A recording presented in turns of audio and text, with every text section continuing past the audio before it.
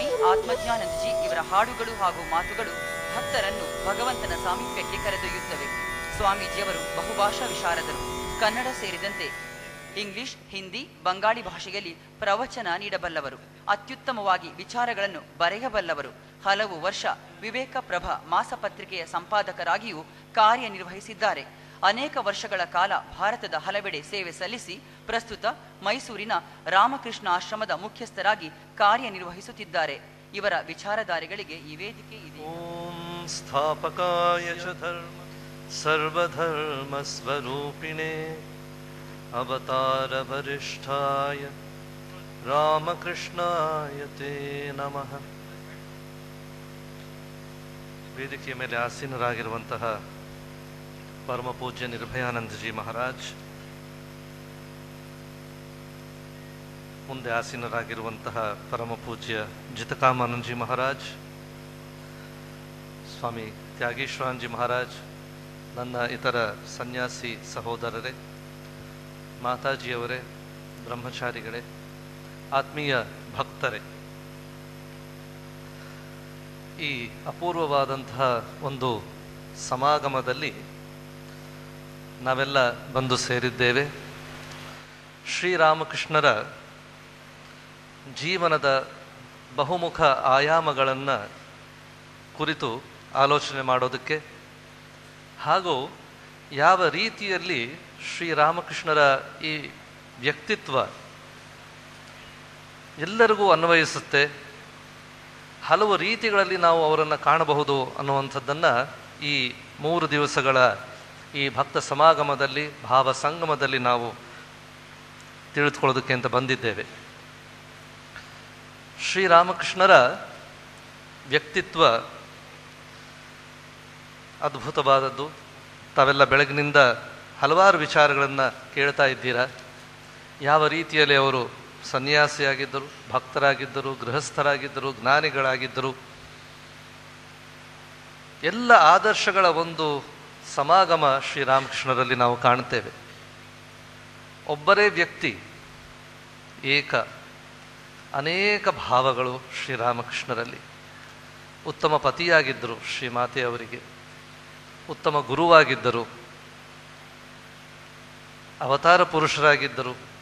ಸಾಧಕರಲ್ಲಿ ಬಂದಂತಹ ತಮ್ಮ ಗುರುಗಳಿಗೆ ಅವರೇ ಗುರುವಾಗಿ ರೂಪುಗೊಂಡರು. ಈ ಎಲ್ಲ ಭಾವನೆಗಳನ್ನು ಬೆಳಗಿನಿಂದ ತಾವು ಕೇಳ್ತಾ ಇದ್ದೀರ. ಶ್ರೀರಾಮಕೃಷ್ಣರ ಈ ಆಯಾಮದ ಬಗ್ಗೆ, ಅವರ ಈ ಬಹುಮುಖ ಆಯಾಮದ ಬಗ್ಗೆ ಕೆಲವು ವಿಚಾರಗಳನ್ನು ಹೇಳಬಯಸ್ತೇನೆ ಪ್ರಸಿದ್ಧ ಲೇಖಕ ರೋಮಾರೋಲ ಶ್ರೀರಾಮಕೃಷ್ಣರ ಬಗ್ಗೆ ಬರೀತಾ ಹೇಳ್ತಾರೆ, ಶ್ರೀರಾಮಕೃಷ್ಣರ ವ್ಯಕ್ತಿತ್ವ ಹೇಗಿತ್ತು ಅಂತಂದರೆ ಎಂಥ ಒಂದು ಉನ್ನತವಾದಂತಹ ಆಧ್ಯಾತ್ಮಿಕ ಶಕ್ತಿಯವರು ಅಂತಂದರೆ ಅವರು ಮಾಡಿದಂತಹ ಸಾಧನೆ ಈ ಒಂದು ಜೀವಿತ ಅವಧಿಯಲ್ಲಿ ಅವರು ಇಡೀ ಭಾರತದ ಪರಂಪರೆಯಲ್ಲಿ ಇತಿಹಾಸದಲ್ಲಿ ಆರು ಸಾವಿರ, ಆರೂವರೆ ಸಾವಿರ ವರ್ಷಗಳ ಈ ಭಾರತೀಯ ಪರಂಪರೆ, ಇತಿಹಾಸ, ಆಧ್ಯಾತ್ಮಿಕ ಸಾಧನೆಗಳೆಲ್ಲವನ್ನೂ ಕೂಡ ಒಂದೇ ಒಂದು ಜೀವನದಲ್ಲಿ ಅವರು ಅಳವಡಿಸ್ಕೊಂಡ್ಬಿಟ್ಟಿದ್ರು ಅಂತ. ತಮ್ಮ ಒಂದು ಜೀವನದಲ್ಲಿ ಈ ಅನೇಕ ಸಾಧನೆಗಳನ್ನು ಅವರು ಸಾಧಿಸಿ ಅದರಲ್ಲಿ ಅದರಲ್ಲಿ, ಆ, ಅನುಭೂತಿಯನ್ನು ಪಡ್ಕೊಂಡು ಅವರು ಈ ಯುಗಕ್ಕೆ ಅವತಾರ ಪುರುಷರಾದರು. ಶ್ರೀರಾಮಕೃಷ್ಣರ ವಚನಭೇದದಲ್ಲಿ ಒಂದು ಕಡೆ ಬರುತ್ತೆ. ಶ್ರೀರಾಮಕೃಷ್ಣರು ಮಾಸ್ಟರ್ ಮಹಾಶಯ ಈ ಎಲ್ಲ ಭಕ್ತರ ಜೊತೆಗೆ ಕಲ್ಕತ್ತೆಗೆ ಬಂದಿದ್ದಾಗ ತಮ್ಮ ಭಕ್ತರಾದಂತಹ ಸುರೇಂದ್ರನ ಮನೆಗೆ ಬರ್ತಾರೆ ಸುರೇಂದ್ರನ ಮನೆಯಲ್ಲಿ ಒಂದು ದೊಡ್ಡ ಒಂದು ತೈಲ ಚಿತ್ರವಿರುತ್ತೆ. ಮಧ್ಯದಲ್ಲಿ ಶ್ರೀರಾಮಕೃಷ್ಣರು ನಿಂತಿರ್ತಾರೆ. ಸುತ್ತಲೂ ಇತರ ಧರ್ಮಗಳ ಪ್ರತಿನಿಧಿಗಳು ಯೇಸುಕ್ರಿಸ್ತ ಚೈತನ್ಯ ಮಹಾಪ್ರಭು, ಈ ಕಡೆ ಮುಸಲ್ಮಾನರು, ಹಿಂದ್ಗಡೆ ದೇವಸ್ಥಾನಗಳ ಚಿತ್ರ ಕೂಡ ಇರುತ್ತೆ, ಒಂದು ದೇವಸ್ಥಾನ ಇರುತ್ತೆ, ಒಂದು ಮಸೀದಿ ಇರುತ್ತೆ, ಒಂದು ಚರ್ಚ್ ಇರುತ್ತೆ. ಎಲ್ಲರೂ ಕೂಡ ತಮ್ಮ ತಮ್ಮ ಭಾವದಂತೆ ನಿಂತಿರ್ತಾರೆ, ಅದೇ ವೇಷಭೂಷಣಗಳ ಜೊತೆಗೆ. ಚೈತನ್ಯ ಮಹಾಪ್ರಭುಗಳಲ್ಲಿ ನರ್ತನ ಮಾಡ್ತಾ ಇದ್ದಾರೆ. ಶ್ರೀರಾಮಕೃಷ್ಣರು ಅಲ್ಲಿ ಮಧ್ಯದಲ್ಲಿ ನಿಂತ್ಕೊಂಡು ಅವರನ್ನೆಲ್ಲ ನೋಡ್ತಾ ನಗ್ತಾ ತಮ್ಮ ಈ ಮುದ್ರೆಯನ್ನು ತೋರಿಸ್ತಾ ಇದ್ದಾರೆ. ಅಂದರೆ ಒಂದು, ನಾವೆಲ್ಲರೂ ಒಂದು, ನಾವೆಲ್ಲರೂ ಸಾಗ್ತಾ ಇರುವಂತಹ ಗುರಿ ಒಂದು ಅಥವಾ ನಾವೆಲ್ಲರೂ ಆ ಒಂದೇ ಸತ್ಯವನ್ನು ನಾನಾ ರೀತಿಯಲ್ಲಿ ಆರಾಧನೆ ಮಾಡ್ತಾ ಇದ್ದೇವೆ ಅನ್ನುವಂತಹ ಚಿತ್ರ ಇದೆ. ಇದನ್ನು ತಾವು ನೋಡಿರಬಹುದು, ಹಲವಾರು ಕಡೆ ಇದು ಲಭ್ಯವಿದೆ. ಆ ಚಿತ್ರವನ್ನು ನೋಡಿದಾಗ ಶ್ರೀರಾಮಕೃಷ್ಣರಿಗೆ ಬಹಳ ಸಂತೋಷವಾಗುತ್ತೆ. ಅದನ್ನು ತೋರಿಸ್ತಾ ಅವರು ಹೇಳ್ತಾರೆ ಮಾಸ್ಟರ್ ಮಹಾಶಯನಿಗೆ, ಇದು ಈ ಯುಗದ ಭಾವ, ಇದರಲ್ಲಿ ಎಲ್ಲವೂ ಅಡಕವಾಗಿದೆ ಅಂತ ಶ್ರೀರಾಮಕೃಷ್ಣರು ಹೇಳ್ತಾರೆ. ಅಂದರೆ ಸಮನ್ವಯ. ಭಗವಂತನನ್ನು ಹೀಗೆ ನಾನಾ ರೀತಿಯಲ್ಲಿ ಆಸ್ವಾದಿಸುವಂಥದ್ದು ಭಗವಂತನನ್ನು ನಾನಾ ರೀತಿಯಲ್ಲಿ ಸೇರುವಂತಹ ಇದು ಮಾರ್ಗಗಳು ಇವೆಲ್ಲವೂ ಕೂಡ ಒಂದೇ ಅನ್ನುವುದನ್ನು ಸ್ವೀಕಾರ ಮಾಡುವಂಥದ್ದು ಆಕ್ಸೆಪ್ಟೆನ್ಸ್ ಅಂತ ಯಾವುದನ್ನು ಹೇಳ್ತೀವಿ. ಹಾರ್ಮನಿ ಇವು ಈ ಯುಗದ ಧರ್ಮ ಅನ್ನೋದನ್ನು ಶ್ರೀರಾಮಕೃಷ್ಣರು ಸ್ಪಷ್ಟವಾಗಿ ಅಲ್ಲಿ ತೋರಿಸ್ಕೊಡ್ತಾರೆ. ಶ್ರೀಮಾತೆಯವರ ಜೀವನದಲ್ಲಿ ಒಂದು ಮಾತು ಬರುತ್ತೆ. ಶ್ರೀಮಾತೆ ಹೇಳ್ತಾರೆ ಶ್ರೀರಾಮಕೃಷ್ಣರು ತ್ಯಾಗ ವೈರಾಗ್ಯಗಳನ್ನು ತೋರಿಸ್ಕೊಡೋದಕ್ಕೆ ಅಂತ ಬಂದರು. ಆಗ ಯಾರೋ ಪ್ರಶ್ನೆ ಮಾಡ್ತಾರೆ, ಈ ಧರ್ಮಗಳ ಸಮನ್ವಯವೇ ಶ್ರೀರಾಮಕೃಷ್ಣರ ಮೂಲ ಸಂದೇಶ ಅಂತ ಬಹಳಷ್ಟು ಜನ ಹೇಳ್ತಾರೆ. ಆಗ ಶ್ರೀಮಾತೆ ಹೇಳ್ತಾರೆ, ಇಲ್ಲ, ಅವರು ತ್ಯಾಗವನ್ನು, ವೈರಾಗ್ಯವನ್ನು ಯಾವ ರೀತಿಯಲ್ಲಿ ಎಲ್ಲವನ್ನು ಬಿಟ್ಟು ಭಗವಂತನನ್ನು ಆರಾಧಿಸಬೇಕು ಅನ್ನೋದನ್ನು ತೋರಿಸ್ಕೊಡೋದಕ್ಕೆ ಅಂತ ಬಂದಿದ್ದು. ಅದರ ಅಂಗವಾಗಿ ಇದು ಬಂತು ಹೊರತು ಮೂಲ ಉದ್ದೇಶ ಅವರದು ತ್ಯಾಗ, ತ್ಯಾಗಿಗಳ ರಾಜ ಅವರು ಅಂತ ಶ್ರೀಮಾತೆ ಹೇಳ್ತಾರೆ. ಶ್ರೀರಾಮಕೃಷ್ಣರ ತ್ಯಾಗ ಎಂಥದ್ದು ಅಂತಂದರೆ, ಅವರ ಬಳಿಗೆ ಬರ್ತಾ ಇದ್ದಂತಹ ಬೇರೆ ಬೇರೆ ಭಕ್ತರಿರಬಹುದು ಅಥವಾ ತಿಳಿದವರು ಇರಬಹುದು. ಇವರೆಲ್ಲರ ಬಳಿಗೆ ಶ್ರೀರಾಮಕೃಷ್ಣರು ಮಾತಾಡ್ತಾ ಇದ್ದಾಗ, ಇವರ ಜೊತೆ ಮಾತಾಡ್ತಾ ಇದ್ದಾಗ ಶ್ರೀರಾಮಕೃಷ್ಣರು ಕೇಳ್ತಾ ಇದ್ದಂತಹ ಪ್ರಶ್ನೆ, ನೋಡು, ನನಗೆ ಈ ರೀತಿಯಲ್ಲಿ ಅನುಭವ ಆಗಿದೆ. ನಾನು ಭಗವಂತನನ್ನು ಈ ರೀತಿಯಾಗಿ ಕಂಡಿದ್ದೇನೆ. ನಿನ್ನ ವಿಚಾರ ಏನು ಅಂತ ಕೇಳೋರು. ಅವ್ರು ಹೇಳುವಂಥ ವಿಚಾರಗಳನ್ನೆಲ್ಲ ಕೇಳೋರು. ಬಹಳ ಆಸಕ್ತಿಯಿಂದ ಶ್ರೀರಾಮಕೃಷ್ಣರು ಕೇಳೋರು. ಅದರಲ್ಲಿ ಏನಾದರೂ ವ್ಯತ್ಯಾಸವಿದ್ದರೆ ನೋಡು ನಾನು ಇಂಥದ್ದನ್ನು ಕಂಡಿದ್ದೇನೆ ಅಂತ ಶ್ರೀರಾಮಕೃಷ್ಣರು ಮತ್ತೆ ಅದನ್ನು ಹೇಳೋರು. ಅಂತಂದರೆ ಪ್ರತಿಯೊಬ್ಬರನ್ನೂ ಕೇಳಿಸ್ಕೊತಾ ಇದ್ರು ಶ್ರೀರಾಮಕೃಷ್ಣರು. ಅವರವರ ಮಾರ್ಗದಲ್ಲಿ ಅವರಿಗೆ ಪ್ರೋತ್ಸಾಹವನ್ನು ನೀಡ್ತಾ ಇದ್ರು. ಮುಂದುವರಿಯುವಂತೆ ಮಾಡ್ತಾ ಇದ್ರು. ಅದಕ್ಕಿಂತ ಹೆಚ್ಚಿನ ಒಂದು ಸ್ತರವನ್ನು ಅವರಿಗೆ ತೋರಿಸ್ಕೊಡ್ತಾ ಇದ್ರು, ಹೇಳ್ತಾ ಇದ್ರು, ವಿವರಿಸ್ತಾ ಇದ್ರು. ಹೇಗೆ ಅವರು ಇನ್ನೂ ಉನ್ನತವಾದಂತಹ ಒಂದು ಆಧ್ಯಾತ್ಮಿಕ ನೆಲೆಯನ್ನು ಮುಟ್ಟಬಹುದು ಅನ್ನೋದನ್ನು ಶ್ರೀರಾಮಕೃಷ್ಣರು ತೋರಿಸ್ತಾ ಇದ್ರು. ಅಲ್ಲಿ ಕೂಡ ಎಂದು ಶ್ರೀರಾಮಕೃಷ್ಣರ ಧೋರಣೆ ಹೀಗಾಗಿರಲಿಲ್ಲ. ನಾನು ಕಂಡಿದ್ದೇ ಸತ್ಯ. ನೀವೆಲ್ಲರೂ ನನ್ನನ್ನೇ ಅನುಸರಿಸಬೇಕು ಅಂತ ಎಲ್ಲೂ ಹೇಳಲಿಲ್ಲ ಶ್ರೀರಾಮಕೃಷ್ಣರು. ಅವ್ರು ಹೇಳ್ತಾ ಇದ್ದಿದ್ದು, ನಾನು ಹೀಗೆ ಕಂಡಿದ್ದೇನೆ. ಅಷ್ಟೇ. ನೀನು ಬೇಕಾದದನ್ನು ತಗೋಬಹುದು ಅಥವಾ ಬಿಡಬಹುದು. ಎಲ್ಲೂ ಅವರ ಧೋರಣೆ ನಾವು ನೋಡೋದಿಲ್ಲ. ಇದು ನಾನು ಕಂಡಿದ್ದೇ ಸತ್ಯ, ನಾನೇ ಉತ್ತಮವಾದಂತಹ ವ್ಯಕ್ತಿ ಅಥವಾ ಮಾರ್ಗ ಅನ್ನುವಂಥ ವಿಚಾರ ಶ್ರೀರಾಮಕೃಷ್ಣ ಎಲ್ಲೂ ಹೇಳೋದಿಲ್ಲ. ತಾಯಿ ನನಗೆ ಇದನ್ನು ತೋರಿಸ್ಕೊಟ್ಟಿದ್ದಾಳೆ. ಇದು ಶ್ರೀರಾಮಕೃಷ್ಣರ ಧೋರಣೆ. ಶ್ರೀರಾಮಕೃಷ್ಣರು ತಮ್ಮ ಸಂಪೂರ್ಣ ಅಹಂಕಾರವನ್ನು ತ್ಯಾಗ ಮಾಡಿದಂಥವರು. ಅಷ್ಟೇ ಅಲ್ಲ, ತಾವು ಕಂಡುಕೊಂಡಂತಹ ಸತ್ಯವನ್ನೂ ಕೂಡ ಎಲ್ಲರ ಮೇಲೆ ಹೇರಲಿಲ್ಲ ಅವರು. ಅವರವರಿಗೆ ಬಿಟ್ಟರು. ಇದು ಸತ್ಯ. ನೀವು ಹೇಗೆ ಈ ಸತ್ಯವನ್ನು ಬಳಿ ಸಾರ್ತೀರಾ, ಯಾವ ರೀತಿಯಲ್ಲಿ ಇದರ ಬಳಿಗೆ ಬರ್ತೀರಾ ಅನ್ನೋದು ನೀವು ಮಾರ್ಗವನ್ನು ಕಂಡುಕೊಳ್ಬೇಕು ಅನ್ನುವಂಥ ಒಂದು ಔನ್ನತ್ಯವನ್ನು ಶ್ರೀರಾಮಕೃಷ್ಣರ ಜೀವನದಲ್ಲಿ ನಾವು ಕಾಣ್ತೇವೆ ಶ್ರೀರಾಮಕೃಷ್ಣರು ಹಲವಾರು ಉದಾಹರಣೆಗಳ ಮೂಲಕ ಈಗ ಈ ವಿಷಯ ವಸ್ತು ಏಕ ಮತ್ತು ಅನೇಕ ಅನ್ನುವಂಥ ವಿಷಯ ವಸ್ತುವನ್ನು ನಾವು ಬೇರೆ ರೀತಿಯಲ್ಲಿ ತಾತ್ವಿಕವಾದಂಥ ನೆಲೆಯಲ್ಲಿ ಅರ್ಥ ಮಾಡ್ಕೊಳ್ಳೋದಕ್ಕೆ ಪ್ರಯತ್ನ ಮಾಡಿದ್ರೆ ಶ್ರೀರಾಮಕೃಷ್ಣರು ಹೇಗೆ ಅದೇ ಆ ಸಚ್ಚಿದಾನಂದ ಪರಬ್ರಹ್ಮ ವಸ್ತುವನ್ನು ಹಲವಾರು ರೀತಿಯಲ್ಲಿ ಆಸ್ವಾದಿಸಿದರು. ಭಕ್ತರಾಗಿ, ಜ್ಞಾನಿಯಾಗಿ ಅನ್ನೋದನ್ನು ವಿಚಾರ ಮಾಡೋದಾದರೆ, ನಮ್ಮ ತತ್ವಶಾಸ್ತ್ರದಲ್ಲಿ ಆ ಒಬ್ಬನೇ ಭಗವಂತ ಹಲವಾರು ರೂಪಗಳಲ್ಲಿ ವ್ಯಕ್ತವಾಗ್ತಾನೆ. ಒಂದೇ ಸತ್ಯವನ್ನು ಹಲವಾರು ನಾಮಗಳಿಂದ ನಾವು ಆರಾಧನೆ ಮಾಡ್ತೇವೆ, ಕರಿತೇವೆ. ಏಕಂ ಸತ್ ವಿಪ್ರಾಹ ಬಹುದಾ ವದಂತಿ ಅನ್ನುವಂಥ ಮಾತಿದೆ. ಶ್ರೀರಾಮಕೃಷ್ಣರು ಕೂಡ ಈ ವಿಚಾರಗಳನ್ನು ಬಹಳ ಸುಂದರವಾದಂಥ ರೀತಿಯಲ್ಲಿ, ತಮ್ಮದೇ ಆದಂಥ ರೀತಿಯಲ್ಲಿ ಉದಾಹರಣೆಗಳ ಮೂಲಕ ನಮಗೆ ತಿಳಿಸ್ಕೊಟ್ಟಿದ್ದಾರೆ. ಆ ಉದಾಹರಣೆಗಳೆಲ್ಲ ನಿಮಗೆ ಈಗಾಗಲೇ ಗೊತ್ತಿದೆ. ಗೋಸುಂಬೆಯ ಕಥೆ ಬಹಳ ಚೆನ್ನಾಗಿ ಗೊತ್ತಿದೆ ನಿಮಗೆ ಅದೆಲ್ಲ. ಎಲ್ಲರೂ ಆ ಗೋಸುಂಬೆಯ ಬಗ್ಗೆ ಜಗಳವನ್ನು ಆಡೋದಕ್ಕೆ ಪ್ರಾರಂಭ ಮಾಡಿದ್ರು. ನಾನು ನೋಡಿದಾಗ ಅದು ಹಳದಿ ಬಣ್ಣ ಇತ್ತು, ಇನ್ನೊಬ್ಬ ಹೇಳ್ತಾನೆ ನಾನು ನೋಡಿದಾಗ ಅದು ಹಸಿರು ಬಣ್ಣ ಇತ್ತು, ಇನ್ನೊಬ್ಬ ಹೇಳ್ತಾನೆ ಇಲ್ಲ ಕೆಂಪು ಬಣ್ಣ ಇತ್ತು. ಹೀಗೆ ಎಲ್ಲರೂ ಜಗಳವಾಡ್ತಾ ತಿರ್ಗಾ ಅದರ ಬಳಿಗೆ ಹೋದಾಗ ಜಾಗಕ್ಕೆ ಹೋದಾಗ ಅಲ್ಲಿದ್ದಂತಹ ಒಬ್ಬ ವ್ಯಕ್ತಿ ಹೇಳ್ತಾನೆ, ಇಲ್ಲ ಇಲ್ಲ, ನಾನು ಕೆಲವು ಸತಿ ಅದು ಬಣ್ಣ ಇಲ್ಲದೆ ಇರೋದನ್ನು ಕೂಡ ನೋಡಿದ್ದೇನೆ, ಇದೆಲ್ಲವೂ ಸತ್ಯ. ಆದರೆ ಕೆಲವು ಸತಿ ಅದು ಬಣ್ಣವೂ ಇರೋದಿಲ್ಲ ಅಂತ ಹೇಳ್ತಾನೆ. ಅಂತಂದರೆ ಯಾರು ಅನುಭಾವಿಯೋ, ಯಾರು ನಿಜವಾಗಿಯೂ ಆ ಆಧ್ಯಾತ್ಮಿಕ ಸತ್ಯವನ್ನು ಕಂಡುಕೊಂಡಿದ್ದಾನೋ ಅವನ ವಿಚಾರವೇ ನಿಜವಾದಂತಹ ವಿಚಾರ. ಎಲ್ಲ ಆಯಾಮಗಳನ್ನು ಅರಿತುಕೊಂಡಂತಹ ವ್ಯಕ್ತಿ ಆತ. ಹಲವಾರು ರೀತಿಯಲ್ಲಿ ಆ ಭಗವಂತನನ್ನ ಸತ್ಯವನ್ನು ಆಸ್ವಾದಿಸಿರುವಂತಹ ವ್ಯಕ್ತಿ ಅವನು ಹೇಳ್ತಾನೆ, ಹೌದು, ಇದೆಲ್ಲವೂ ಇದೆ, ಆಕಾರವೂ ಇದೆ, ಆದರೆ ನಿರಾಕಾರವೂ ಇದೆ. ಶ್ರೀರಾಮಕೃಷ್ಣರು ಇದನ್ನು ಹೇಳ್ತಾರೆ. ಭಗವಂತ ಏನು ಅಂತ ವಿವರಿಸೋದಕ್ಕಾಗೋದಿಲ್ಲ. ಅವನು ಆಕಾರನೂ ಹೌದು, ಸಾಕಾರನೂ ಹೌದು, ನಿರಾಕಾರನೂ ಕೂಡ ಇನ್ನೂ ಎಷ್ಟೆಷ್ಟೋ ಅಂತ ಶ್ರೀರಾಮಕೃಷ್ಣ ಹೇಳ್ತಾರೆ. ಆಗ ಮಾಸ್ಟರ್ ಮಹಾಶಯ ಇನ್ನಿತರರು ಹೇಗೆ ವಾದ ಮಾಡ್ತಾರೆ? ಶ್ರೀರಾಮಕೃಷ್ಣ ಹತ್ರ ಅದು ಹೇಗೆ? ಆಕಾರ ಇದ್ದು ನಿರಾಕಾರ ಆಗೋದಕ್ಕೆ ಸಾಧ್ಯ? ಒಂದೇ ಸಮಯದಲ್ಲಿ ಹೇಗೆ ಸಾಧ್ಯ? ಆಗ ಶ್ರೀರಾಮಕೃಷ್ಣ ಕೊಡುವಂಥ ಉದಾಹರಣೆ ಬಹಳ ಚೆನ್ನಾಗಿದೆ. ಏಕೆ ಸಮುದ್ರದಲ್ಲಿ ಹಲವು ಕಡೆ ದೊಡ್ಡ ದೊಡ್ಡ ಪರ್ವತಗಳಂತೆ ಹಿಮ ಸೇರ್ಕೊಂಡ್ಬಿಟ್ಟಿರತ್ತೆ, ಮಂಜು ಸೇರ್ಕೊಂಡ್ಬಿಟ್ಟಿರತ್ತೆ, ಹಿಮದ ಗಡ್ಡೆ ಇರುತ್ತೆ, ಐಸ್ಬರ್ಗ್ಸ್ ಅಂತ ಯಾವ್ದು ಹೇಳ್ತೀವಿ, ಗ್ಲೇಷಿಯರ್ಸ್ ಅಂತ ಯಾವ್ದು ಹೇಳ್ತೀವಿ. ಆ ಚಳಿಯ ಪ್ರಭಾವದಿಂದ ಆ ಸಮುದ್ರದ ನೀರು ದೊಡ್ಡ ದೊಡ್ಡ ಆಕಾರವನ್ನು ತಾಳಿ ಗಡ್ಡೆಗಳಾಗ್ಬಿಟ್ಟಿರುತ್ತೆ. ಅದು ಹಲವಾರು ಸಾವಿರಾರು ವರ್ಷಗಳ ಕಾಲ ಎಷ್ಟೋ ಮಿಲಿಯನ್ಸ್ ಆಫ್ ಇಯರ್ಸ್ ಇರುತ್ತದು, ಕರಗೋದಿಲ್ಲ.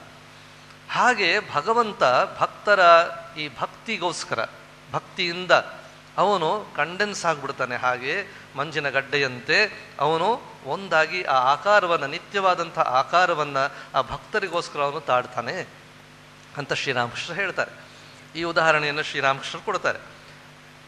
ನಮ್ಮ ವೇದಾಂತದ ವಿಚಾರಗಳಲ್ಲಿ ಈ ಭಗವಂತನನ್ನ ಕುರಿತು, ಈ ಸತ್ಯವನ್ನು ಕುರಿತು, ಈ ಆಧ್ಯಾತ್ಮಿಕ ಸತ್ಯವನ್ನು ಕುರಿತು ಹಲವಾರು ವಿಚಾರಗಳನ್ನು ಹೇಳ್ತಾರೆ. ಈ ಭಗವಂತನಲ್ಲಿ ಆತ ಏಕನೋ ಅನೇಕನೋ ಅನ್ನುವಂತಹ ವಿಚಾರದಲ್ಲಿ ವೈಷ್ಣವ ಧರ್ಮದಲ್ಲಿ ಮುಖ್ಯವಾಗಿ ಶ್ರೀರಾಮಾನುಜಾಚಾರ್ಯರು ಕೆಲವು ಭೇದಗಳನ್ನು ಹೇಳ್ತಾರೆ. ಸಜಾತೀಯ ಭೇದ, ವಿಜಾತೀಯ ಭೇದ ಅನ್ನುವಂಥ ವಿಚಾರ ಬರುತ್ತೆ. ಹೇಗೆ?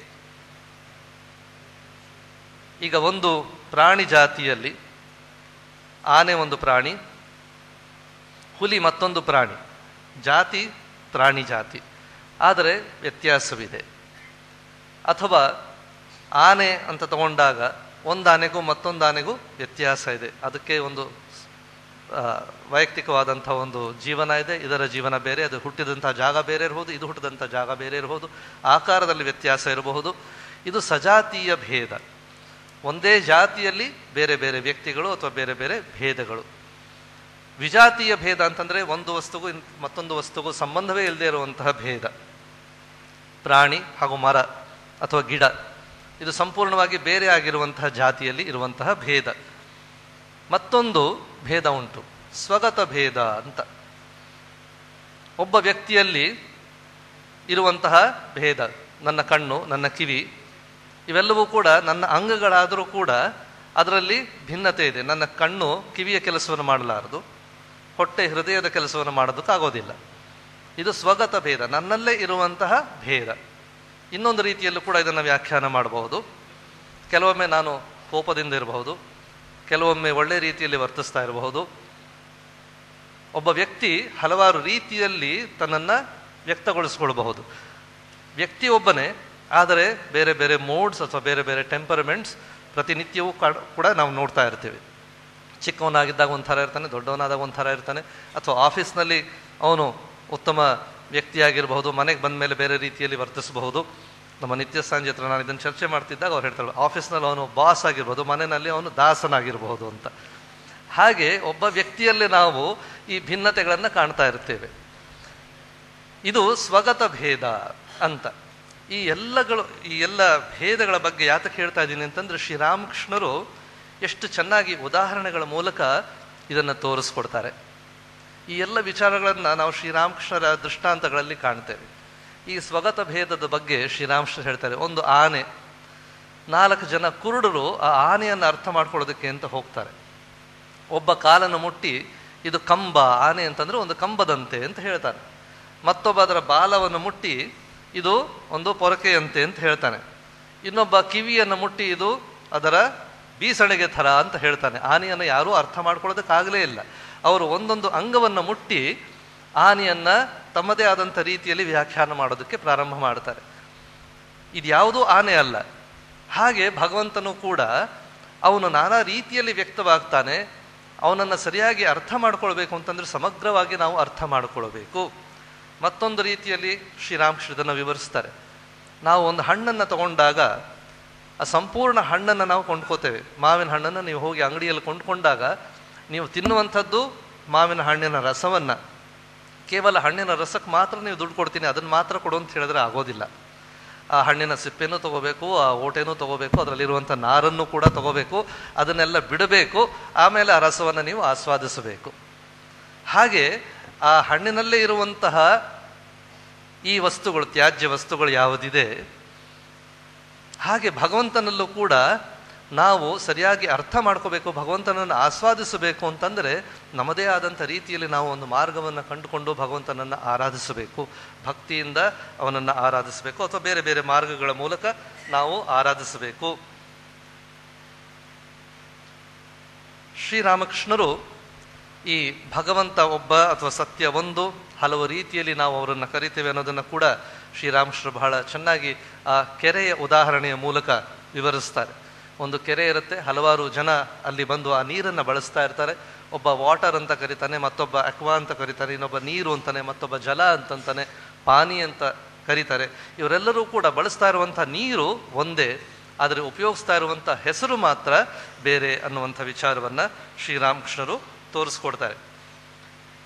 ಶ್ರೀರಾಮಕೃಷ್ಣರು ಹೇಳ್ತಾರೆ, ಈ ಭಗವಂತನ ಆಕಾರದ ಬಗ್ಗೆ, ಭಗವಂತನ ಹೆಸರಿನ ಬಗ್ಗೆ, ಭಗವಂತನ ರೂಪದ ಬಗ್ಗೆ ತಮಾಷೆಯಾದಂಥ ಒಂದು ಉದಾಹರಣೆಯನ್ನು ಕೊಡ್ತಾರೆ ಶ್ರೀರಾಮಕೃಷ್ಣರು. ಶಿವ ದೊಡ್ಡವನ, ರಾಮ ದೊಡ್ಡವನ ಅಂತ ಸಮಸ್ಯೆ ಬಂದಾಗ ಶಿವನಿಗೂ ರಾಮನಿಗೂ ಯಾವುದೇ ಒಂದು ಗೊಂದಲ ಇಲ್ಲ. ಆದರೆ ಆ ಕಪಿಗಳಿಗೂ ಮತ್ತು ಆ ಭೂತಗಣಗಳಿಗೆ ಜಗಳ. ಇಲ್ಲ, ನಮ್ಮ ಶಿವ ದೊಡ್ಡವನು, ನಮ್ಮ ರಾಮ ದೊಡ್ಡವನು ಅಂತ. ರಾಮ ಮತ್ತು ಶಿವ ಸ್ನೇಹಿತರು ಯಾವಾಗಲೂ ಆಲಂಗಿಸ್ಕೊಂಡು ಒಂದಾಗಿರ್ತಾರೆ. ಅವರಲ್ಲಿ ಯಾವ ಭೇದವೂ ಇಲ್ಲ. ಆದರೆ ಆ ಅನುಯಾಯಿಗಳಿದ್ದಾರಲ್ಲ. ಅವರ ಎಲ್ಲ ಗೊಂದಲವನ್ನು ತಯಾರು ಮಾಡೋದು ಅಂತ ಶ್ರೀರಾಮಕೃಷ್ಣರು ಇದನ್ನು ಒಂದು ಕಡೆ ಹೇಳ್ತಾರೆ. ಹೀಗೆ ನಾವು ಈ ಭಾವನೆಯನ್ನು ನಾವು ಅರ್ಥ ಮಾಡ್ಕೋಬೇಕು. ಶ್ರೀರಾಮಕೃಷ್ಣರ ಭಾವ ಯಾವುದು ಅಂತಂದರೆ ಎಲ್ಲವನ್ನೂ ಸ್ವೀಕರಿಸುವಂತಹ ಭಾವ. ಸ್ವಾಮಿ ವಿವೇಕಾನಂದರ ಜೀವನದಲ್ಲಿ ಒಂದು ಘಟನೆ ಬರುತ್ತೆ. ಅವರು ಅಮೇರಿಕದಲ್ಲಿ ಒಮ್ಮೆ ಪ್ರವಚವನ್ನು ಪ್ರವಚನವನ್ನು ಮಾಡೋದಕ್ಕೆ ಅಂತ ಸಭೆಗೆ ಬಂದಾಗ ಅಲ್ಲಿರುವಂತಹ ಸಭಿಕರನ್ನೆಲ್ಲ ನೋಡ್ತಾರೆ. ಆ ಅಮೇರಿಕದ ಜನರನ್ನು ಕಂಡಾಗ ಅವರಲ್ಲಿ ತುಂಬ ತುಳುಕ್ತಾ ಇದ್ದಂಥ ಆ ಲೌಕಿಕ ವಿಷಯ ವಸ್ತುಗಳ ವಾಸನೆ ಇರಬಹುದು ಅಥವಾ ಅವರ ರೀತಿ ನೀತಿಗಳನ್ನು ಕಂಡು ವಿವೇಕಾನಂದರಿಗೆ ಇವರು ನಾನು ಹೇಳುವಂತಹ ವಿಚಾರ, ಶ್ರೀರಾಮಕೃಷ್ಣರ ವಿಚಾರ ಅಥವಾ ನಮ್ಮ ಭಾರತೀಯ ತತ್ವದ ವಿಚಾರ ಅರ್ಥವಾಗೋದಿಲ್ಲ. ಇವರು ಹೇಳೇನು ಪ್ರಯೋಜನ ಅನ್ನುವಂಥ ಒಂದು ಭಾವನೆ ಬಂದ್ಬಿಡುತ್ತೆ ಮನಸ್ಸಿನಲ್ಲಿ. ಶ್ರೀರಾಮಕೃಷ್ಣರ ಬಗ್ಗೆ ಮಾತಾಡಬೇಕು ಅಂತ ಬಂದಿರ್ತಾರೆ ಅವತ್ತು. ಇವರನ್ನು ಕಂಡು ಶ್ರೀರಾಮಕೃಷ್ಣನ ಇವರು ಸರಿಯಾಗಿ ಅರ್ಥ ಮಾಡ್ಕೊಳ್ಳೋದಕ್ಕಾಗತ್ತಾ ಅನ್ನುವಂತಹ ಒಂದು ಸಂದೇಹ ಸ್ವಾಮಿ ವಿವೇಕಾನಂದರ ಮನಸ್ಸಿಗೆ ಬರುತ್ತೆ. ಅವರು ಅವತ್ತು ತಮ್ಮ ಪ್ರವಚನದಲ್ಲಿ ಕೇವಲ ಅವರ ರೀತಿ ನೀತಿಗಳನ್ನು ನಿಂದಿಸ್ತಾ ಮಾತಾಡ್ಬಿಡ್ತಾರೆ. ಬಹಳಷ್ಟು ಕಟುವಾಗಿ ಮಾತಾಡ್ತಾರೆ ಅಮೇರಿಕನ್ ವೇ ಆಫ್ ಲೈಫ್ ಬಗ್ಗೆ. ಮಾರನೇ ದಿವಸ ಪೇಪರಲ್ಲೆಲ್ಲ ವಿವೇಕಾನಂದರು ಈ ರೀತಿಯಾಗಿ ಟೀಕೆ ಮಾಡಿದ್ರು, ಹಾಗೆ ಮಾಡಿದ್ರು, ಹೀಗೆ ಮಾಡಿದ್ರು ಅಂತ ಬೇಕಾದಷ್ಟು ವರದಿಗಳು ಬರುತ್ತೆ. ಅದನ್ನು ನೋಡ್ತಾ ವಿವೇಕಾನಂದರು ಕಣ್ಣೀರು ಸುರಿಸ್ತಾರೆ. ಎಂಥ ಒಂದು ತಪ್ಪು ಮಾಡಿದೆ.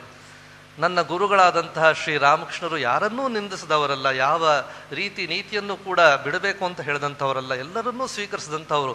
ಅವರ ಶಿಷ್ಯರಾಗಿ ನಾನು ಈ ಥರ ಒಂದು ಮಾತಾಡೋದನ್ನಲ್ಲ ಅಂತ ಬಹಳ ಬೇಸರ ಪಟ್ಕೋತಾರೆ ವಿವೇಕಾನಂದರು. ಅಂದರೆ ನಾವು ಶ್ರೀ ರಾಮಕೃಷ್ಣರ ಅನುಯಾಯಿಗಳಾದರೆ ಈ ರಾಮಕೃಷ್ಣರ ಭಾವದ ಅಂಗವಾಗಿದ್ದರೆ ನಾವು ಯಾರನ್ನು ನಿಂದಿಸುವಂಥ ಕೆಲಸವನ್ನು ಮಾಡಬಾರದು. ಯಾರಿಗೆ ಆಗಲಿ ಅಗೌರವವನ್ನು ತೋರಿಸೋದಕ್ಕಾಗೋದಿಲ್ಲ. ಯಾವುದೇ ಧರ್ಮವಾಗಲಿ, ಯಾವುದೇ ಪಂಥದವರಾಗಲಿ, ಯಾವುದೇ ದೇಶದವರಾಗಲಿ, ಯಾವುದೇ ಜಾತಿಯವರಾಗಲಿ, ಎಲ್ಲರೂ ಕೂಡ ನಾವೆಲ್ಲರೂ ಒಂದು ಅನ್ನುವಂತಹ ಭಾವನೆ ನಮ್ಮಲ್ಲಿ ಬರಬೇಕು. ಇದೇ ಮೂಲ ಸೂತ್ರ ಶ್ರೀರಾಮಕೃಷ್ಣರ ಈ ಭಾವ ಸಂಗಮದಲ್ಲಿ ನಮ್ಮ ಉಪನಿಷತ್ತುಗಳಲ್ಲಿ, ವೇದಗಳಲ್ಲಿ ಎಲ್ಲ ಬೇಕಾದಷ್ಟು ಕಡೆ ಬಂದಿದೆ. ಭಗವಂತ ಒಬ್ಬ ಅಥವಾ ಆ ಪರಮಾತ್ಮ ವಸ್ತು, ಸಚ್ಚಿದಾನಂದ ವಸ್ತು ಒಂದು, ಅದು ಹಲವು ರೂಪಗಳಲ್ಲಿ ವ್ಯಕ್ತವಾಗುತ್ತೆ ಅನ್ನೋದನ್ನು ಕಠೋಪನಿಷತ್ತಿನಲ್ಲಿ ನಾವು ನೋಡ್ತೀವಿ. ಹೇಗೆ ಅಗ್ನಿ, ಅದಕ್ಕೆ ಬಳಸುವಂತಹ ಇಂಧನದ ಆಧಾರದ ಮೇಲೆ ಹಲವು ರೂಪಗಳನ್ನು ತಗೊಳುತ್ತೋ ಹಾಗೆ ಅದೇ ಸಚ್ಚಿದಾನಂದ ಪರಬ್ರಹ್ಮ ವಸ್ತು ಹಲವು ರೂಪಗಳನ್ನು ಸರ್ವಭೂತಾಂತರಾತ್ಮ, ಹಲವು ರೂಪಗಳಲ್ಲಿ ಅವನು ವ್ಯಕ್ತವಾಗ್ತಾನೆ, ಆ ಪ್ರಾಣಿಗಳ ರೂಪದಂತೆ ಅಂತ.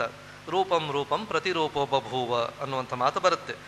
ಹೀಗೆ ತೈತರಿಯ ಉಪನಿಷತ್ತಿನಲ್ಲೂ ಬರುತ್ತೆ. ಸ ಏಕಃ, ಸ ಏವಂ ವಿತ್ ಇವೆಲ್ಲ ಉಪನಿಷತ್ತಿನಲ್ಲಿ ಬರುವಂತಹ ಮಾತುಗಳು. ಈ ಸಚ್ಚಿದಾನಂದ ಪರಬ್ರಹ್ಮ ವಸ್ತುವೇ ಈ ಜಗತ್ತಿನಲ್ಲಿ ವ್ಯಕ್ತವಾಗಿದೆ ಅನ್ನೋದನ್ನು ಶ್ರೀರಾಮಕೃಷ್ಣರು ಸ್ಪಷ್ಟವಾಗಿ ತಿಳಿಸ್ತಾರೆ. ವಚನ ವೇದದಲ್ಲಿ ನಾವು ನೋಡ್ತಾ ಇರುವಾಗ, ಓದುವಾಗ ನಮಗೆ ಹಲವಾರು ಘಟನೆಗಳು ಬರುತ್ತೆ. ಶ್ರೀರಾಮಕೃಷ್ಣರು ಯಾವ ನೆಲೆಯಿಂದ ಈ ಜಗತ್ತನ್ನು ಕಾಣ್ತಾ ಇದ್ರು, ಈ ಲೀಲಿಯನ್ನು ನೋಡ್ತಾ ಇದ್ರು ಅನ್ನುವಂಥದ್ದನ್ನು. ಅವ್ರು ಯಾವ ರೀತಿಯಲ್ಲಿ ಜನರ ಜೊತೆ ವ್ಯವಹರಿಸ್ತಾ ಇದ್ರು, ಭಕ್ತರ ಜೊತೆ ಇರಬಹುದು ಶಿಷ್ಯರ ಜೊತೆ ಇರಬಹುದು, ಎಲ್ಲವನ್ನೂ ಕೂಡ ಅವರು ಆ ಭಗವಂತನ ಲೀಲೆ, ಭಗವಂತನ ಅಭಿವ್ಯಕ್ತಿ ಅನ್ನೋದನ್ನೇ ಕಾಣ್ತಾ ಇದ್ರು. ಅವರು ಒಂದು ಕಡೆ ಹೇಳ್ತಾರೆ, ನೋಡು ನನಗಲ್ಲಿ ಲಾಟು ಕೂತಿರೋದು ಕಾಣಿಸ್ತಾ ಇದೆ. ಅದ್ಭುತಾನಂದರು. ನಂತರ ಯಾರು? ಅದ್ಭುತಾನಂದರು ಆದರೋ. ಎಲ್ಲವೂ ಸಚ್ಚಿದಾನಂದ ಪರಬ್ರಹ್ಮನಿಂದ ವ್ಯಾಪ್ತವಾಗಿದೆ. ಅಲ್ಲಿ ಲಾಟು ಕೂತಿರುವುದು ಕೂಡ ನನಗೆ ಕಾಣಿಸ್ತಾ ಇದೆ. ಅವನು ಹೀಗೆ ಕೈ ಇಟ್ಕೊಂಡು ಕೂತಿದ್ದಾನೆ, ಅದು ಕಾಣಿಸ್ತಾ ಇದೆ ಅಂತ ಶ್ರೀರಾಮಕೃಷ್ಣ ಹೇಳ್ತಾರೆ. ಅಂತಂದರೆ, ಈ ಕಡೆ ಏಕವನ್ನೂ ನೋಡ್ತಾ ಇದ್ರು, ಅವರು ಅನೇಕವನ್ನು ಕೂಡ ನೋಡ್ತಾ ಇದ್ರು. ಒಮ್ಮೆಗೆ ಅದೇ ಭಾವಮುಖ ಅವಸ್ಥೆ ಅನ್ನುವಂಥ ಒಂದು ಸ್ಥಿತಿ ಶ್ರೀರಾಮಕೃಷ್ಣ ಹೇಳ್ತಾರೆ, ತಾಯಿ ನನಗೆ ಹೇಳಲು ನೀನು ಭಾವಮುಖದಲ್ಲಿ ಇರು ಅಂತ. ಅಂದರೆ, ಒಂದು ಹೊಸ್ತಿಲ ಮೇಲೆ ನಿಂತರೆ ಆ ಕಡೆ ಈ ಕಡೆ ಎರಡೂ ಕಾಣುವಂತೆ ಶ್ರೀರಾಮಕೃಷ್ಣರು ಅಖಂಡ ಸಚ್ಚಿದಾನಂದ ಪರಬ್ರಹ್ಮವನ್ನು ಕೂಡ ಕಾಣ್ತಾ ಇದ್ರು, ಆಸ್ವಾದಿಸ್ತಾ ಇದ್ರು. ಇದೇ, ಅದೇ ಸಮಯದಲ್ಲಿ ಈ ಕಡೆ ಜಗತ್ತಿನ ಜೊತೆ ಕೂಡ ಅವರು ವ್ಯವಹರಿಸ್ತಾ ಇದ್ರು. ಗುರುವಾಗಿ, ಮಗನಾಗಿ, ಎಲ್ಲ ರೀತಿಯಲ್ಲೂ ಕೂಡ. ಶ್ರೀರಾಮಕೃಷ್ಣ ಕೊಡ್ತಾ ಇದ್ದಂಥ ಒಂದು ಉದಾಹರಣೆ ಇದೆ. ಗಟ್ಟಿಯಾಗಿ ಭಗವಂತನನ್ನು ಒಂದು ಕೈಯಿಂದ ಹಿಡ್ಕೋಬೇಕು, ಮತ್ತೊಂದು ಕೈಯಲ್ಲಿ ಈ ಎಲ್ಲ ಕೆಲಸ ಕಾರ್ಯಗಳನ್ನು ಮಾಡಬೇಕು, ನಮ್ಮ ವ್ಯವಹಾರಗಳನ್ನು ಮಾಡಬೇಕು. ಭಗವಂತನನ್ನ ಗಟ್ಟಿಯಾಗಿ ಹಿಡ್ಕೊಂಡಿರಬೇಕು ಅಂತ. ಶ್ರೀರಾಮಕೃಷ್ಣರೇ ಅದಕ್ಕೆ ನಿದರ್ಶನ. ಭಗವಂತನನ್ನ ಒಂದು ಕೈಯಲ್ಲಿ ಗಟ್ಟಿಯಾಗಿ ಹಿಡ್ಕೊಂಡಿರೋದು. ಬೇರೆ ಎಲ್ಲ ಕೆಲಸಗಳನ್ನು, ಅಂದರೆ ಏಕ ಅಂತಂದ್ರೆ ಅಲ್ಲಿ ಭಗವಂತನನ್ನು ಹಿಡ್ಕೋಬೇಕು ಒಂದು ಕೈಯಲ್ಲಿ. ಬೇರೆ ಎಲ್ಲ ಕೆಲ, ಅನೇಕ ಕೆಲಸಗಳನ್ನು, ವ್ಯವಹಾರಗಳನ್ನು ನಾವು ಇನ್ನೊಂದು ಕೈಯಿಂದ ಮಾಡಬೇಕು. ಮನಸ್ಸು ಸಂಪೂರ್ಣವಾಗಿ ಏಕ, ಅಲ್ಲಿರಬೇಕು. ಸಣ್ಣ ಸಣ್ಣ ಭಾಗ ಮಾತ್ರ ಈ ಲೌಕಿಕವಾದಂತಹ ವಿಚಾರಗಳಲ್ಲಿ, ವ್ಯವಹಾರಗಳಲ್ಲಿ ನಾವು ಇಡಬೇಕು ಅನ್ನುವಂಥದ್ದು. ನಮ್ಮ ಪರಂಪರೆಯಲ್ಲಿ ಒಂದು ಅದ್ಭುತವಾಗಿರುವಂತಹ ಒಂದು ಶ್ಲೋಕ ಬರುತ್ತೆ. ಒಬ್ಬ ಭಕ್ತ ಹೇಳ್ತಾನೆ, ಭಗವಂತನಿಗೆ, ಹೇ ಭಗವಂತ, ನಾನು ಮೂರು ರೀತಿಯ ಅಪರಾಧಗಳನ್ನು ಮಾಡಿದ್ದೇನೆ. ದಯವಿಟ್ಟು ನನ್ನನ್ನು ಕ್ಷಮಿಸು ಅಂತ ಆ ಅಪರಾಧಗಳು ಏನು ಅಂತ ಅವನು ವಿವರಿಸ್ತಾನೆ. ಯಾರಿಗೆ ರೂಪವಿಲ್ಲವೋ, ರೂಪಂ ರೂಪ ವಿವರ್ಜಿತಸ್ಯ ನಾನು ಧ್ಯಾನದ ಸಮಯದಲ್ಲಿ ನಿನಗೆ ಒಂದು ರೂಪವನ್ನು, ಆಕಾರವನ್ನು ಕಲ್ಪಿಸಿ ಧ್ಯಾನ ಮಾಡ್ತೇನೆ. ಆದರೆ ನೀನು ಮೂಲತಃ ರೂಪವಿಲ್ಲದವನು, ನಿರಾಕಾರನಾದವನು. ನಾನು ಧ್ಯಾನದಲ್ಲಿ ನಿನಗೆ ಒಂದು ರೂಪವನ್ನು ಕಲ್ಪಿಸಿ ಮೊದಲನೇ ಅಪರಾಧವನ್ನು ಮಾಡಿದ್ದೇನೆ. ರೂಪಂ ರೂಪವಿವರ್ಜಿತಸ್ಯ ಭವತೋ ಧ್ಯಾನೇನ ಯತ್ ಕಲ್ಪಿತಂ. ಮತ್ತೊಂದು ತಪ್ಪು ಏನು ಮಾಡಿದೆ? ಯಾರನ್ನ ವರ್ಣಿಸಲಾಗೋದಿಲ್ವೋ ಯಾರು ಅನಿರ್ವಚನೀಯವೋ ಅವನನ್ನು ನಾನು ಒಂದು ಸ್ತೋತ್ರದಿಂದ, ಒಂದು ಪ್ರಾರ್ಥನೆಯಿಂದ ಸೀಮಿತಗೊಳಿಸ್ಬಿಟ್ಟಿದ್ದೇನೆ. ನಿನ್ನ ಅನಿರ್ವಚನೀಯತೆ ಅನ್ನುವಂತಹ ಗುಣವನ್ನು ನಾನು ದೂರ ಮಾಡಿಬಿಟ್ಟಿದ್ದೇನೆ ನನ್ನ ಸ್ತುತಿಯ ಮೂಲಕ. ಮತ್ತೊಂದು ದೋಷ ಏನು ಮಾಡಿದ್ದೇನೆ? ನಾನು ತೀರ್ಥಕ್ಷೇತ್ರಗಳಿಗೆ ಹೋಗಿ ನಿನ್ನ ದರ್ಶನವನ್ನು ಮಾಡಿ ಒಂದು ಅಪರಾಧವನ್ನು ಮಾಡಿದ್ದೇನೆ. ನೀನು ಸರ್ವವ್ಯಾಪಿ ನೀನು. ಎಲ್ಲೆಡೆಯೂ ಇರುವಂಥವನು ನೀನು. ಆದರೆ ನೀನು ಆ ತೀರ್ಥಕ್ಷೇತ್ರದಲ್ಲಿ ಮಾತ್ರ ಅಭಿವ್ಯಕ್ತ ಆಗಿದೆಯಾ ಅಂದ್ಕೊಂಡು ನಾನು ಉಡುಪಿಗಿರ್ಬೋದು ಶೃಂಗೇರಿಗಿರ್ಬೋದು ಇವತ್ತು ಬೆಳಗ್ಗೆ ಹೇಳ್ತಾ ಇದ್ರು, ಇದಕ್ಕೆಲ್ಲ ಹೋಗಬೇಡಿ, ಆಮೇಲೆ ಹೋಗಿ ನಿತ್ಯ ಸ್ಥಾನ ಅಂತ ಹೇಳಿದ್ರು, ಹೋಗೋದೇ ಬೇಕಾಗಿಲ್ಲ. ಈ ಮೂರು ದಿವಸಗಳಾದಮೇಲೆ ಇದ್ರ, ಅದಕ್ಕೆ ಉತ್ತರ ಇಲ್ಲಿ ಭಗವಂತ ಸರ್ವವ್ಯಾಪಿ. ತೀರ್ಥಕ್ಷೇತ್ರಗಳಲ್ಲಿ ಮಾತ್ರ ಅವನು ಅಭಿವ್ಯಕ್ತವಾಗಿದ್ದಾನೆ ಅಂತ ನಾನು ಅವನನ್ನು ಮತ್ತೆ ಅಲ್ಲಿ ಸೀಮಿತಗೊಳಿಸಿ ಆ ಅಪರಾಧವನ್ನು ಗೈದಿದ್ದೇನೆ. ಕ್ಷಂತವ್ಯಂ ಜಗದೀಶ, ತದ್ವಿಕಲತಾ ದೋಷತ್ರಯಂ ಮತ್ಕೃತಂ. ಹೇ ಭಗವಂತ ಈ ಮೂರು ದೋಷಗಳಿಂದ ನನ್ನನ್ನು ಮುಕ್ತನನ್ನಾಗಿ ಮಾಡು ಅಂತ ಪ್ರಾರ್ಥನೆ ಮಾಡ್ತಾನೆ. ಶಿವಮಹಿಮನ ಸ್ತೋತ್ರದಲ್ಲಿ ಒಂದು ಶ್ಲೋಕ ಬರುತ್ತೆ, ಬಹಳ ಚೆನ್ನಾಗಿರುವಂತಹ ಶ್ಲೋಕ. ತವ ತತ್ವಂ ನ ಜಾನಾಮಿ ಕೀದೃಶೋಸಿ ಮಹೇಶ್ವರ. ಯಾದೃಶೋಸಿ ಮಹಾದೇವ ತಾದೃಶಾಯ ನಮೋ ನಮಃ. ನೀನು ಹೇಗಿದ್ದೀಯಾ? ಏನು ನಿನ್ನ ರೂಪ? ಯಾವ ರೀತಿಯಲ್ಲಿ ನೀನು ವ್ಯಕ್ತವಾಗ್ತೀಯ ಅನ್ನೋದು ನಮಗೆ ಗೊತ್ತಿಲ್ಲ. ಅದನ್ನು ವಿವರಿಸೋದಕ್ಕೂ ಸಾಧ್ಯವಿಲ್ಲ. ನೀನು ಹೇಗಿದ್ದೀಯೋ, ಯಾವ ರೂಪವನ್ನು ಧರಿಸಿದ್ದೀಯೋ, ಆ ರೂಪದಿಂದಲೇ ನನಗೆ ಆಶೀರ್ವಾದವನ್ನು ಮಾಡು, ನಿನಗೆ ನಮಸ್ಕಾರ ಅನ್ನುವಂತಹ ಭಾವನೆ. ಶ್ರೀರಾಮಕೃಷ್ಣರ ಈ ಎಲ್ಲ ಭಾವನೆಗಳ ಸಂಗಮವನ್ನು ಆಚರಿಸೋದಕ್ಕೋಸ್ಕರ, ಅರ್ಥ ಮಾಡ್ಕೊಳ್ಳೋದಕ್ಕೋಸ್ಕರ ನಾವು ಇವತ್ತು ಇಲ್ಲಿ ನೆರೆದಿದ್ದೇವೆ. ಹಲವಾರು ಕಡೆಗಳಿಂದ ಭಕ್ತರು ಇಲ್ಲಿ ಬಂದು ಸೇರಿದ್ದಾರೆ. ಸ್ವಾಮಿ ಜಿತಕಾಮಾನಂದಜಿ ಮಹಾರಾಜರು ಅದ್ಭುತವಾದಂಥ ಈ ಒಂದು ಅವಕಾಶವನ್ನು ನಮಗೆಲ್ಲ ಕಲ್ಪಿಸಿಕೊಟ್ಟಿದ್ದಾರೆ. ಶ್ರೀರಾಮಕೃಷ್ಣರ ವ್ಯಕ್ತಿತ್ವದ ಬೇರೆ ಬೇರೆ ಆಯಾಮಗಳನ್ನು ಪರಿಶೀಲಿಸಿ ಅವರನ್ನು ಮತ್ತಷ್ಟು ಅರ್ಥ ಮಾಡಿಕೊಳ್ಳುವಂತೆ, ಮತ್ತಷ್ಟು ಅವರನ್ನು ಪ್ರೀತಿಸುವಂತೆ ನಾವು ಇವತ್ತು ಪ್ರಯತ್ನ ಮಾಡ್ತಾ ಇದ್ದೇವೆ. ನಾನು ಭಾವಿಸ್ತಾ ಇದ್ದೆ, ಕರ್ನಾಟಕದ ಹಲವಾರು ಕಡೆಗಳಿಂದ ನಾವೆಲ್ಲ ಬಂದಿದ್ದೇವೆ. ಇಲ್ಲಿ ಮಂಗಳೂರಿನಲ್ಲಿ ಸಮುದ್ರವಿದೆ. ಉಪನಿಷತ್ತಿನಲ್ಲಿ ಒಂದು ಮಾತು ಬರುತ್ತೆ. ಯಥಾ ನದ್ಯ ಸಂದಮಾನ ಸಮುದ್ರೆ ಅಸ್ತಂಗಚ್ಚಂತಿ ನಾಮರೂಪಂ ವಿಹಾಯ. ಹೇಗೆ ನದಿಗಳು ಬೇರೆ ಬೇರೆ ಮಾರ್ಗಗಳಿಂದ ಹರಿದು ಬಂದು ಸಮುದ್ರವನ್ನು ಸೇರಿ ತಮ್ಮ ಅಸ್ತಿತ್ವವನ್ನು ಕಳೆದುಕೊಂಡು ಬಿಡುತ್ತವೋ, ಪ್ರತ್ಯೇಕತೆಯನ್ನು ಕಳೆದುಕೊಂಡ್ಬಿಡುತ್ತವೋ ಹಾಗೆ ನಾವೆಲ್ಲರೂ ಕೂಡ ಕರ್ನಾಟಕದ ಬೇರೆ ಬೇರೆ ಭಾಗಗಳಿಂದ ಬಂದಿದ್ದೇವೆ. ಇಲ್ಲಿ ನೋಡಿ ಈ ವೇದಿಕೆಯ ಮೇಲೆ. ಶ್ರೀರಾಮಕೃಷ್ಣರು ಇಲ್ಲಿ ಕೇಂದ್ರ ಬಿಂದು. ಹೇಗೆ ಜ್ಞಾನ ಸೂರ್ಯದಂತೆ ಪ್ರಕಾಶಮಾನವಾಗಿದ್ದಾರೆ. ಅದ್ಭುತವಾಗಿ ಆ ಎಲ್ಲ ಹೂಗಳು ಅವರ ವಿವಿಧ ವಿವಿಧ ಆಯಾಮಗಳಂತೆ ಕಂಗಳಿಸ್ತಾ ಇದೆ. ಅಲ್ಲಿ ಇರುವಂಥ ತಾವರೆಗಳೆಲ್ಲ ನಾವು ಅಂತ ಭಾವಿಸಿದ್ರೆ ಶ್ರೀರಾಮಕೃಷ್ಣರ ಪ್ರಭೆಯಿಂದ ಅದೆಲ್ಲ ಪ್ರಜ್ವಲಿಸ್ತಾ ಇದೆ. ನೋಡಿ, ಶ್ರೀರಾಮಕೃಷ್ಣರನ್ನು ನಾವು ನಮ್ಮ ಜೀವನದ ಕೇಂದ್ರವಾಗಿ ಇಟ್ಕೊಂಡ್ರೆ ಅವರ ಬೆಳಕಿನಲ್ಲಿ ನಾವು ನಮ್ಮ ಜೀವನವನ್ನು ನಡೆಸೋದಕ್ಕೆ ಪ್ರಾರಂಭ ಮಾಡಿದ್ರೆ ಆ ಅರಿವಿನಿಂದ ನಾವು ಜೀವನವನ್ನು ನಡೆಸೋದಕ್ಕೆ ಪ್ರಾರಂಭವಾದರೆ ನಮ್ಮ ಜೀವನ ಆ ತಾವರೆಯಂತೆ ಅದ್ಭುತವಾಗಿರುತ್ತೆ. ಹೀಗೆ ಈ ಮೈಸೂರಿನ ಭಾವಸಂಗಮಕ್ಕೆ ಬಂದು, ಮೈಸೂರಿನಿಂದ ಭಾವಸಂಗಮಕ್ಕೆ ಬಂದು, ಭಾಷೆಯಲ್ಲಿ, ವ್ಯಾಕರಣದಲ್ಲಿ ಮಾತ್ರ ವ್ಯತ್ಯಾಸ. ಮೈಸೂರಿನಿಂದ ಹಲವಾರು ಕಡೆಗಳಿಂದ ಕರ್ನಾಟಕದ ವಿವಿಧ ಪ್ರಾಂತಗಳಿಂದ ಬಂದಿರುವಂಥ ನಾವೆಲ್ಲರೂ ಕೂಡ ಈ ಮಂಗಳೂರಿನ ಈ ಭಾವಸಂಗಮ ಕಾರ್ಯಕ್ರಮದಲ್ಲಿ ಮಿಂದು ನಮ್ಮ ನಮ್ಮ ವೈಯಕ್ತಿಕತೆಗಳನ್ನು ಬಿಟ್ಟು ಇಂಡಿವಿಜುವಾಲಿಟೀಸ್ ಅಂತ ಯಾವ್ದು ಹೇಳಿದ್ರು. ಅಹಂಕಾರವನ್ನು ಬಿಡಬೇಕು ಅನ್ನುವಂಥ ಮಾತು ಬೆಳಗಿನಿಂದ ನಾವು ಕೇಳ್ತಾ ಇದ್ದೇವೆ. ನಮ್ಮ ಸ್ವಂತಿಕೆಯನ್ನು ಬಿಟ್ಟು ಶ್ರೀರಾಮಕೃಷ್ಣರ ಭಾವವನ್ನು ನಮ್ಮದಾಗಿಸ್ಕೊಂಡು ಮತ್ತಷ್ಟು ಪುನೀತರಾಗಿ, ಮತ್ತಷ್ಟು ಪರಿಪೂರ್ಣರಾಗಿ ಇಲ್ಲಿಂದ ಹೋಗೋಣ. ಈ ಭಾವನೆಯನ್ನು ತಗೊಂಡು ಹೋಗೋಣ, ಸ್ವೀಕಾರವನ್ನು ತಗೊಂಡು ಹೋಗೋಣ, ನಿರಾಕರಿಸೋದು ಬೇಡ. ಶ್ರೀರಾಮಕೃಷ್ಣರ ಒಂದು ಕಡೇ ಮಾತು. ಶ್ರೀರಾಮಕೃಷ್ಣರ ಬಗ್ಗೆ ಶ್ರೀಮಾತೆ ಹೇಳ್ತಾರೆ. ಅವರು ಒಡೆಯೋದಕ್ಕೆ ಬರಲಿಲ್ಲ. ಪುನರ್ನಿರ್ಮಾಣಕ್ಕೆ ಬಂದರು. ಪ್ರತಿಯೊಂದನ್ನು ಸಮೃದ್ಧಗೊಳಿಸೋದಕ್ಕೆ ಬಂದರು. ಯಾವುದನ್ನು ಡಿಸ್ಟ್ರಾಯ್ ಮಾಡಲಿಲ್ಲ ಶ್ರೀರಾಮಕೃಷ್ಣರು. ಆದರೆ ಒಂದು ಮಾತ್ರ ಅವರು ಡಿಸ್ಟ್ರಾಯ್ ಮಾಡ್ತಾರೆ. ನಮ್ಮ ಅಹಂಕಾರವನ್ನು, ನಮ್ಮ ಇಂಡಿವಿಜುವಾಲಿಟಿಯನ್ನು ನನ್ನದು ನನ್ನದು ಅಂತ ಯಾವುದನ್ನು ನಾವು ಹಿಡಿದಿಟ್ಕೋತೀವೋ ಅದನ್ನು ಅವರು ತೆಗೆದು ಹಾಕ್ತಾರೆ ವಿಶಾಲವಾದಂಥ ಒಂದು ಆಯಾಮವನ್ನು ಕೊಡ್ತಾರೆ ನಮಗೆ. ನಮ್ಮ ಸಣ್ಣತನವನ್ನು ತೆಗೆದುಹಾಕಿ ನಮ್ಮನ್ನು ವಿಶ್ವ ಮಾನವರನ್ನಾಗಿ ಮಾಡ್ತಾರೆ. ಇದು ಶ್ರೀರಾಮಕೃಷ್ಣರ ಕೃಪೆ. ಹಾಗಾಗಲಿ ಅಂತ ಪ್ರಾರ್ಥನೆಯನ್ನು ಮಾಡ್ತಾ ಪರಮ ಪೂಜ್ಯ ಜಿತಕಾಮಾನಂಜಿ ಅವರಿಗೆ ನನ್ನ ಪ್ರಣಾಮಗಳನ್ನು ಸಲ್ಲಿಸ್ತಾ ನನ್ನ ಮಾತನ್ನು ಮುಗಿಸ್ತೇನೆ.